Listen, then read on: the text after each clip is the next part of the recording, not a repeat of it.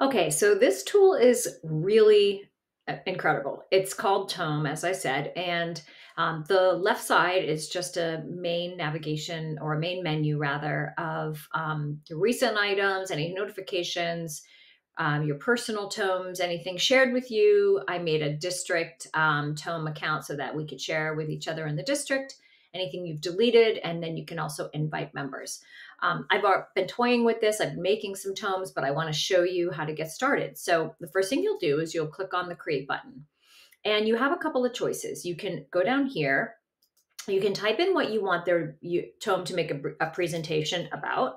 So if I just type in digital citizenship, and click enter. Now, Tome is going to create a digital citizenship um, presentation for me. I've given it absolutely no instructions. So, you know, beggars can't be choosers on this one, but it is pretty interesting that it can come up with some um, interesting topics around the broader concept of digital citizenship or the broader topic rather of digital citizenship. So you can go in and take a look. It's going to pull in components of digital citizenship. I could also take my outline from ChatGPT on the course that I created on digital citizenship, and I can actually paste the outline into Tome and have Tome create this presentation um, with the outline so that each slide is representative of different aspects of the outline. Now, the um, the difference between Tome and say like a Google Slides or SlidesMania is that um, it's going to generate the um, all of the text for you and it's going to generate these AI um, images for you. So you don't have to go in and find images. Having said that, sometimes the images are a little weird or maybe you don't like them and you can go in and edit those images and put in your own. But let's just take a look really quickly. So navigating the digital, uh, sorry, this digital landscape, a guide to digital citizenship. So remember, this is only based on create a presentation on digital citizenship. So let's see how it did nice. It has like a table of contents here, benefits, safety, what is digital citizenship, benefits of online safety, digital etiquette, responsibility. Not bad. Actually, that's pretty good. I like that. Um, but again, I might, you know, want to just use this as my skeleton and then I want to go in and I want to edit this to, you know, really talk specifically about different aspects of digital citizenship that I want to include. So obviously I could change the benefits of digital citizenship and I could make that heading something entirely different. I can change the text. So you've got the skeleton done, which is really nice. You've got some pictures in there. You know, they're not the most interesting, but again, as I said, you can edit this. You can edit the title, you can edit the text, and you can edit the picture. So let's take a look at how to do some editing over here. So I can actually now go in and I can do some um, pretty cool things. I can, I'm actually going to close my, um, my video of myself so that I can add a couple of things and show you what your options are. So I can click on um, the image and I can change the image. I can upload something from my computer or I, I mean, I'm just going to grab this ChatGPT image for the heck of it. And then um, I can decide if I wanted to fit, oops, if I wanted to fill the page or if I want to custom. So I'm just going to do fit. And then let's take a look and see how it comes out. Click done.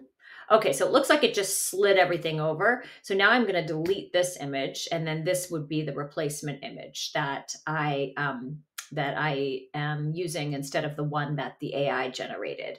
So some other things you can add, you can add a table, which I really like this. Let's say you want to put in um, I don't know, a rubric or some, you know, an outline. You could put the outline in the table. Um, some other things you can add would be, um, I don't know if anybody's heard of DALL-E. This is another AI generated artistic um, image creator, and it is remarkable. It's um, something I suggest you check out if you haven't already. DALL-E will pull, if you don't like the images that Tome came up with, you can use DALL-E to create original images and um, use those instead. So these are other um, options. You could put links in.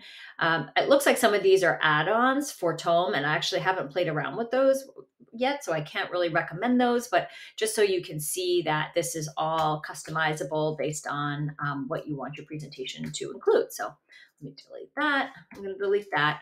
and go back to the right to the original presentation. So again, I made this based on two words, digital citizenship. So now let's give it a little bit more to work with. So here I am at the main menu and I'm going to click create. And now I'm actually going to use it a little bit differently. Now I'm going to take this piece of writing and this was written by one of my sixth graders. This was just a writing for fun. This isn't part of my class. Um, but he was working on a, a little do now, writing some stories that are interesting to him. And I'm actually going to just put the text of this story into this create um, box. And then I'm going to drop this down. And where it says presentation, I'm actually going to change it to story. And I actually haven't done this yet. Um, I am going to do um, images and I'm going to see let's see, cyber, fantasy, neo. I think I'll just do auto and I will let the AI generate based on the content of the story. But as you can see, you can decide what um, style of images for it to create. And now I'm going to press return and it's going to create a visual representation of the story. The reason why I really love this is because when the students see the story um, with the uh, auto generated uh, visuals, it brings their story to life in a way that if they're not artistic themselves or they couldn't imagine, you know, what this world looked like, this is kind of a nice way for them to get, um, you know, some illustrations that would match their story. So it's basically taking the story and it's dividing it into pages and then it's pulling keywords and matching images or creating images based on those keywords. So this takes probably, you know, two minutes or so for it to complete the whole thing. The thing that I really like about this now is I can go up to share when it's finished and I can share this link to this tome with the student. So you can do a read only link. He's not going to be able to edit it. He doesn't have to have tome in order to read it. Um, the other option, and I'll just click on a couple of these so you can kind of see, this is a very rough, this is really cool. This is a very rough um, version of his story. This was not an edited um, story whatsoever. So I would not likely use this um, this content for, for, the final book in tome. But in any event, you get the idea. Um, really cool pulling in these images. And again, these are um, original images, so there's no copyright issue. The other thing you can do if you don't like the way that the images came out, you can, like I said, you can go over here and you can change the images. You can use um, DALL-E, which is that um, AI generated image creator. So you could do that. You could pick your own images. Um, but again, this is a very cool way for the students to see their uh, writing come to life. Okay, so I'm back on the home page, and now I'm going to show you one that I just did um, a few minutes ago. What I did was I added four writing prompts. And so this is a, a good way to use this tool, I want the students to have the opportunity to create a piece of writing. They the genre they've chosen is sci-fi, and I have four different writing prompts in here. Um, the beginning of story ideas that then they can take and they can make their own. As I said, I can click share and I can share the link with them, or I could present this in front of a class. And then you just tap through it as you would a slides presentation and it takes away you know all of the um, editing elements. So that's another way to use this tool. Um, what i've learned is that there's lots of ways to also customize this. So i have the dark background but you can change the background to any color you like. You can um, change the number of pages. Um, i like that. You can actually regenerate this entire thing. So if you have if you've created this and you it turns out that um, well actually no i'm sorry. This one you can't regenerate because these are my um, exact words and i chose to have them in exactly as they were written. However if you go back and you choose the option below that says um, presentation the if you put those writing prompts into the presentation mode and you don't like the way that the writing prompts came out, that's when you can regenerate. So it's kind of like ChatGPT in that if you don't like the results of your query, you can actually just regenerate it and it will give you something different. Um, and then finally, let's go back here and I want to show you one other um, potential option. So I could do a presentation outline. So again, if I wanted to do, let's say, digital citizenship once again. And you saw what it looked like when I did the um, presentation. Now, this is a presentation outline. So, again, looks a little bit different. Maybe this is a nice place to start. And then you can have, um, you can create longer presentations based on any of these uh, outline topics. So, for example, if I'm doing a lesson on, let's say I'm doing the introduction to digital citizenship, it made this um, these three elements of this particular lesson what is digital citizenship, the benefits and the responsibilities. I could take this, I could go into ChatGPT, I could copy the question, what is digital citizenship? And let's see if I have it open. Let me go back to my um, chat with ChatGPT on digital citizenship unit plan. And then what I'm going to do, let me choose this one, see if I can just paste that in. So, what is, I know I've put this in multiple times, but ChatGPT is going to give me the answer. What is digital citizenship? And then I can actually add this summary. This is a little bit long and a little bit um, wordy for my sixth graders, but I can take some of this and edit it down so that it's relevant to my sixth graders. Um, so for right now, I'll just grab this and then I'm going to go back into Tome. And now I can add another page. So if I click new page and choose the layout, so maybe I'll just choose, you know, the heading.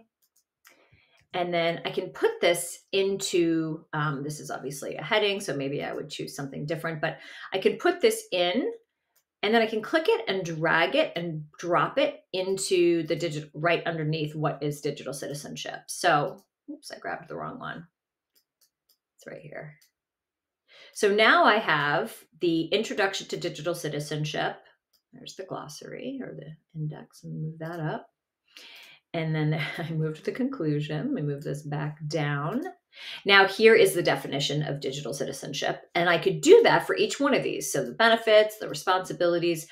This is pretty dry. I, again, would not do um, these direct words from Tome or ChatGPT. I would make it appropriate for my students.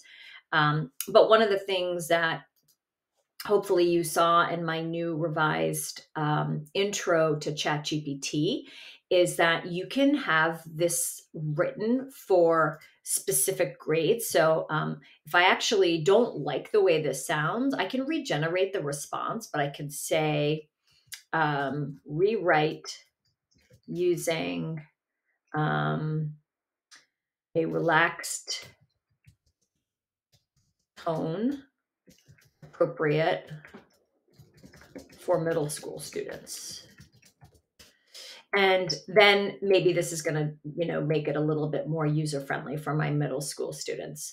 So I would then take this chunk of text and put that into Tome, delete the one that I just had, find a nice image to go with it, or use DALL-E to create an image. And there we go. we are building a new presentation on digital citizenship with beautiful visuals that really takes absolutely no time at all. So the combination between these two tools is incredibly powerful. So take some time, play around with Tome. I hope that you can um, find good use for it with all the different options I showed you. And um, if there's anything really cool that you want to share with others, please um, feel free to put that message in the feedback, and I will certainly make sure that the rest of the students of the course can see it. Good luck.